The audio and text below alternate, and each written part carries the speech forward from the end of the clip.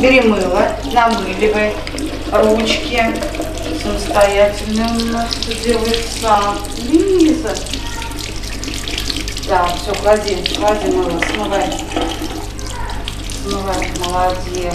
Лицо